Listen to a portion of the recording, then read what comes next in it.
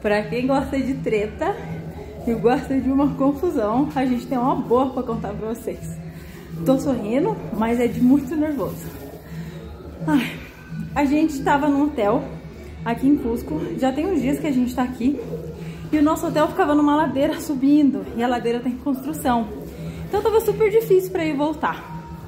Aí o que, que a gente fez? A gente procurou um hotel pra baixo da ladeira. E a gente encontrou um. Aí a gente passou aqui ontem. Aí confirmamos, né? Tem água quente? Tem, tem água quente 24 horas. Aí, beleza. Porque aqui tem um problema de água quente realmente na região. Mas o nosso outro hotel tinha água quente 24 horas. A gente veio aqui perguntar se também tinha. E, a, e o senhor que atendeu a gente disse que tinha. Aí chegamos hoje e... Olha, não foi testar, né? Pra ver se tinha. Aí não tinha. Aí a gente já desceu e falou... O que, que acontece, né? Não tem água quente. Aí ele falou, água quente é só em alguns horários. E de noite até às 8. Quando a gente chegou não tinha nem água, né? É, não tinha nem água. Aí a gente teve que reclamar pra ele liberar a água. Porque ele bloqueou a água da... da do, como fala? Da caixa d'água. Aí a gente, tipo, usou o banheiro e não conseguiu descer. Aí, a, aí falamos pra ele, né? Ele falou, não, água só até às 8. Aí beleza. A gente saiu, a gente caminhou na rua, voltamos antes das 8 pra tomar banho. Fomos tomar banho 15 para as 8, já não tinha mais água quente. Aí eu desci e vim falar com a moça aqui, né? Falei, ô oh, moça, não tem água quente. Aí ela disse assim, eu te avisei que era só até as 8. Falei, tá, mas é 15 para as 8. Aí ela falou, não, mas é só até as 8, eu te avisei. Aí eu falei, né? Falei, pô, mentiram pra gente ontem, fizeram a gente pagar antecipado, a gente pagou, tudo bem. Aí chegou hoje, não tinha água nem pra dar descarga. Ah, sem contar que a nossa privada tá, tá entupida. Aí a gente avisou hoje o dia inteiro pra eles que a privada tá entupida. E aí o carinha falou, vou arrumar a privada, vou arrumar a privada, e nada, a privada tá lá entupida. Aí a gente tá sem privado, sem água. Aí o que, que a gente pediu, amor? Ele pediu, ó, devolve o dinheiro. Falou, vou devolver. A gente arrumou as coisas, ele falou, não, só vou devolver se vocês... Que a Michelle começou a tomar banho, se enxugou com a toalha. Ele falou, não, se sujaram a toalha, então não vamos devolver um centavo. Aí a gente chamou a polícia. Simples assim, a gente tá em Cusco, então aqui tem a polícia turística. A gente tá esperando a polícia turística chegar. E a polícia turística chegando, a gente viu o que resolve. Aí a gente deu muita sorte, a gente sempre dá sorte. Eu saí louca aqui, né? Briguei e tal. Aí eu falei, opa, polícia turística. Aí fui numa pizzaria que tem aqui do lado. Aí eu falei, ah, tem o número da polícia turística? Aí uma senhora não só deu o número, como ela ligou. Aí a polícia turística agora já ligou pra ela, disse que tá chegando. Vamos ver o que, que a gente resolve, porque o povo aqui é muito folgado. A mulher olhou pra mim e falou, sinto muito, não vou fazer nada, se quiser ficar aí, você fica. Falei, então eu vou ficar aqui e vou chamar a polícia. a cama desordenada. Vamos a todo. Baños se han bañado, la ducha sucia. Intentamos bañarse, sí, porque no hay ¿Se agua. han bañado? ¿Ah? Sí, el agua acabó en el medio del baño. Pues yo no corto el agua, se- entiéndame, eso corta el, el Pero- yo no corto el Pero agua. ¿por qué mentiste? Dijiste que Yo era no hasta las mentí. 8 y de Señor, 7 y media se señor, acabó. Yo no soy, yo no, yo no corto, es quiero que me entiendan, yo no corto el agua, corta Serapaz, Cusco. Si corta 10 minutos antes no es culpa mía. A veces puede cortar a las 9, a veces corta a las 10. Y la Así. culpa es mía entonces. Tampoco es mía. que es mía. si- ¿Por qué usted espera a última hora bañar si, si usted está desde las 4 de la tarde acá?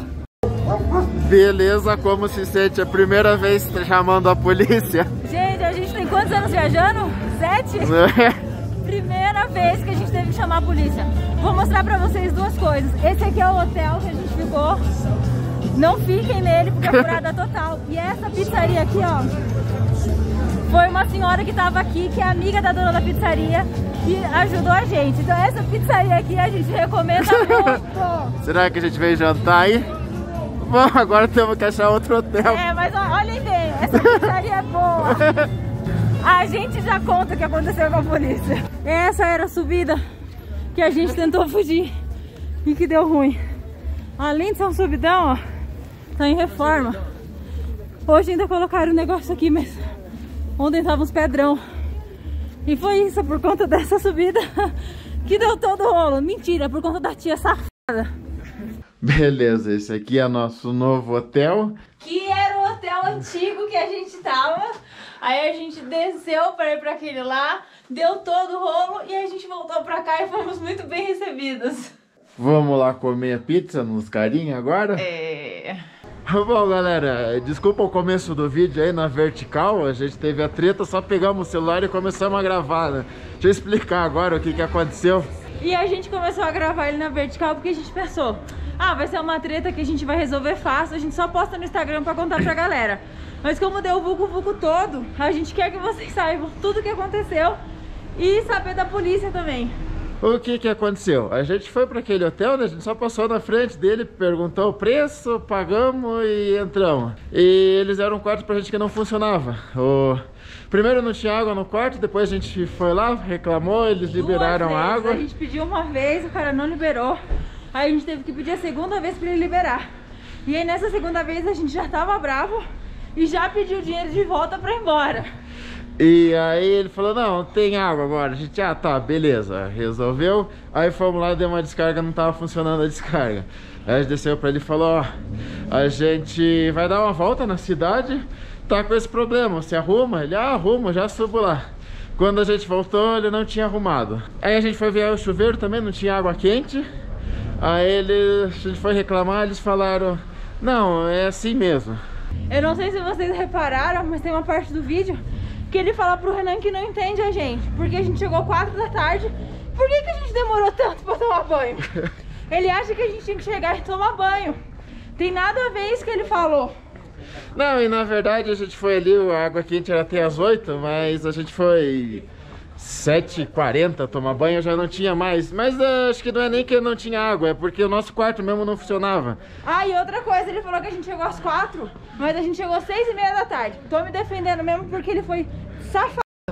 Bom, e aí tá, a gente chegou, viu que não funcionava, pedimos dinheiro de volta, né? Falou, não, dá o dinheiro que a gente vai embora. Aí eles falaram, não, mas vocês ficaram aqui até às sete da noite. Às 8? É, mas a gente falou, não, mas a gente ficou fora, a gente pediu pra arrumar e não arrumaram. E aí falaram que não ia devolver, não sei o que, a gente saiu, a Michelle saiu, foi perguntar se alguém sabia o telefone da polícia turística. E aí uma moça que estava na pizzaria do lado ajudou a gente. Aí ela mesma ligou e a polícia veio. A gente decidiu fazer esse vídeo justamente para contar que existe essa polícia mesmo, que ajuda o turista, porque aqui existe muito golpe, muita trapaça, assim.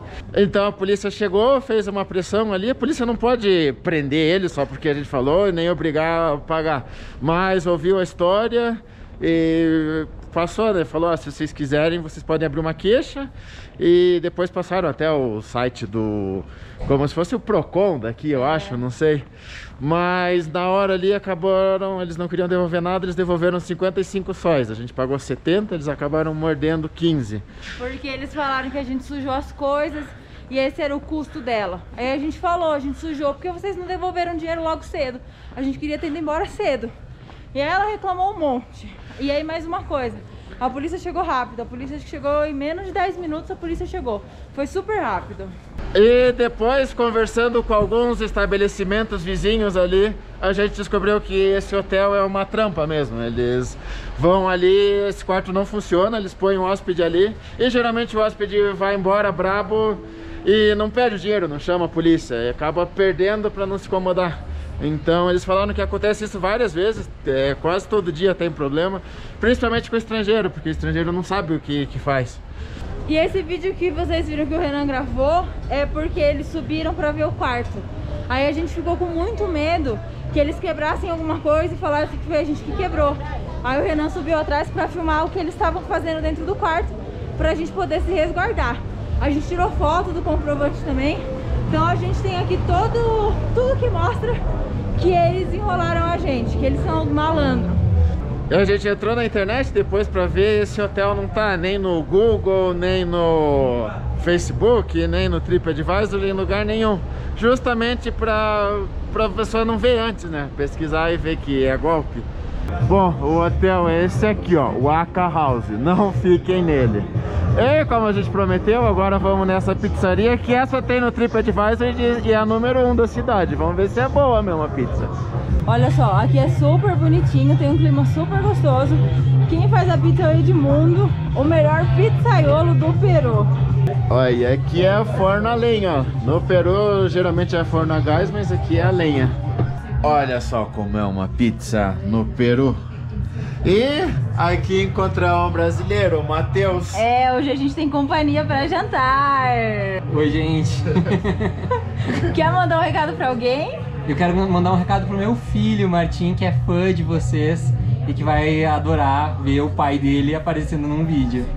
Oi, Martim! Salve, O Martim! Rufinha tá aqui também! E aí a gente aproveitou que a gente tem companhia e a gente pediu uma cervejona pra comemorar o encontro de brasileiros no Peru. Isso aí. Ei, pro vídeo não ficar só treta, vamos aproveitar aqui pra mostrar uma lojinha. Bastante gente pediu no último vídeo pra gente mostrar o preço das coisas. Vamos ver se a gente acha uma lojinha aqui. Legal até falar dessa bandeira aqui, ó. Essa aqui é a bandeira de Cusco.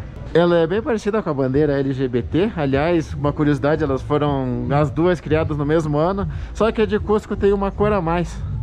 Essa bandeira de Cusco foi proposta por um historiador aqui. Ele falou que os incas usavam essa bandeira. O, de fato, o arco-íris era um símbolo dos incas, mas não acharam. Depois, outros historiadores não acharam registro de que eles realmente usavam essa bandeira dessa forma.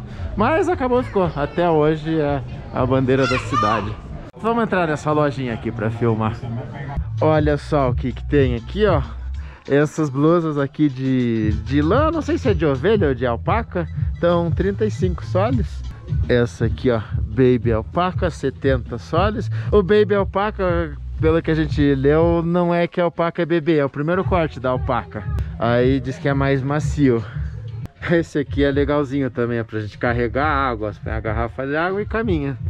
Esse aqui é o pisco, é o como se fosse a pinga deles, né? Um destilado de uva. Aqui não tem preço, mas ó, tem umas lhaminhas que é legal de lembrancinha também. Ó, um Inca. Bom, então é isso, galera. Esse vídeo aqui foi de brinde mesmo na semana, só pra mostrar a treta aí. Mas no fim de semana, se a internet ajudar, vai ter o vídeo novo de sábado, normal. Então, até a próxima.